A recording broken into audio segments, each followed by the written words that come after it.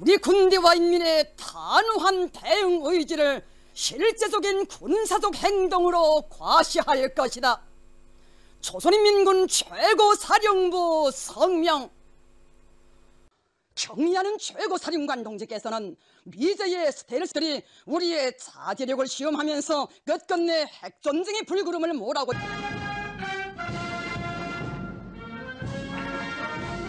시청자 여러분, 여기는 김일성 광장입니다.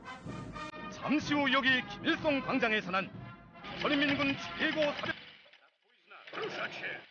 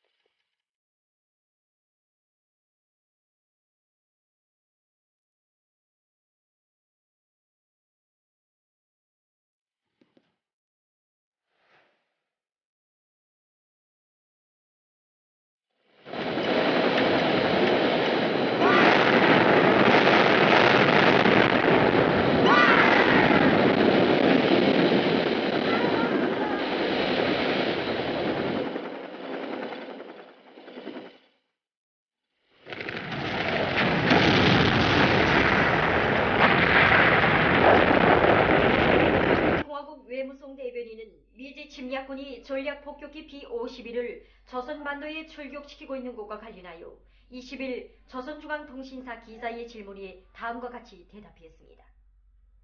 보도에 의하면 미국이 지난 8일에 이어 19일에 또다시 괌도에 있는 전략 폭격기 B-51을 조선반도에 출격시켰다고 한다. 18일 미 국방성 부장관 카터는 남조선에 기어들어 괴뢰 국방부 장관 김관진 놈과 우리의 위협에 대한 한미 공동 대응에 대해 모의하고 남조선 방어에 대한 미국의 의지를 과시하기 위해 19일 전략 폭격기 B-51을 미국 남조선 합동군사 연습에 참가시키게 되며 앞으로 이러한 비행은 계속될 것이라고 떠버렸다. 조선 반도 정세가 전쟁 적경으로 치닫고 있는 때에 전략적 핵 타격 수단을 조선 반도에 끌어들인다는 것은 우리의 초강경 의지를 떠버리는 참을 수 없는 도발이다. 지금 우리는 전략 폭격기 B-52의 움직임을 예민하게 주시하고 있으며 전략 폭격기가 조선 반도에 다시 출격한다면 적대 세력들은 강력한 군사적 대응을 면치 못하게 됩니다.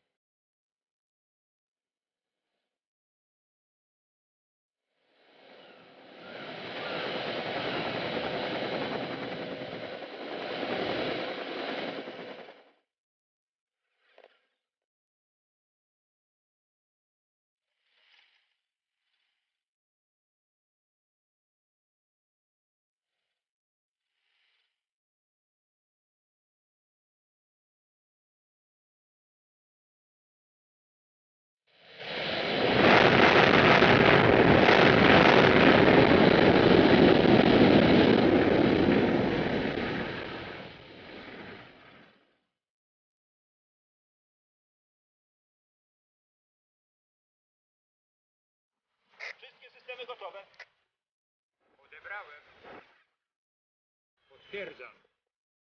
Czekam na sygnał.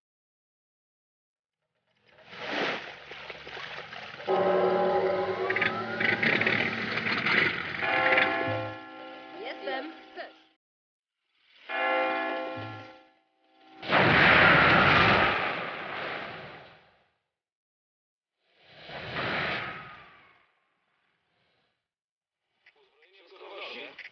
Cały ciąg.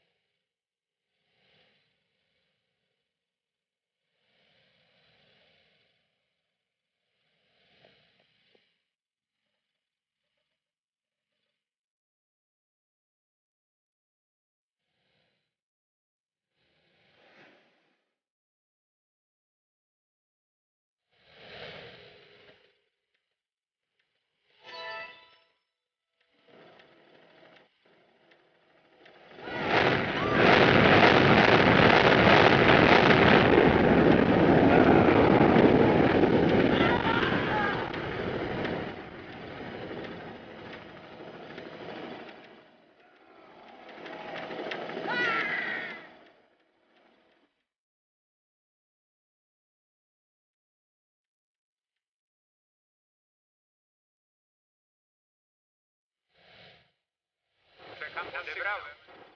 Przystępuję do ataku.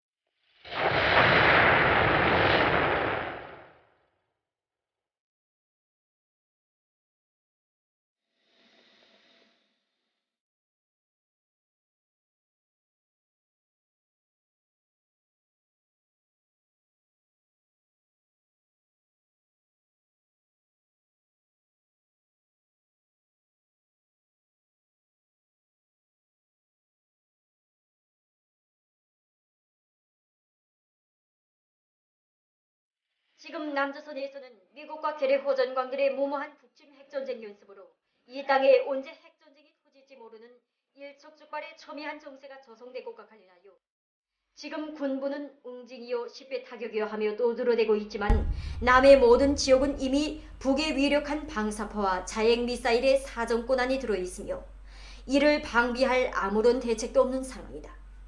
인민군 한개 포중대의 타격으로 불도가니로 하였던 윤평들을 잊었는가? 이제 인민군의 포무력이 동시에 남을 타격한다고 생각해보라. 그럼 어떻게 되겠는가? 통계 자료에 의하면 인민군 1차 타격에 서울과 경기, 인천 지역에서만도 325만 명 이상의 사망자와 500만 명 이상의 부상자들이 생긴다고 한다. 그런데도 서울을 비롯한 도시들에는 변변한 대피소 하나 없는 상황이다. 아무러한 준비도 없이 응징을 떠들어대고 있는 것은 일종의 호세이고 객기이며 국민 4천만의 생명을 놓고 벌리는 무책임하고도 위험한 전쟁 도박이다. 미국은 인민군이 미국 본토를 타격할 경우 그 즉시 남을 인민군에게 넘겨주고 저만 살겠다고 뺑소니를 칠 것이다. 이런 미국을 하레비처럼 섬기며 인민군이 손쉽게 격추 격파할 수 있는 미국의 전폭기와 핵 항모, 핵잠 등을 믿고 재죽을 줄도 모르고 오르렁거리는 군부가 역스럽고 한심하다.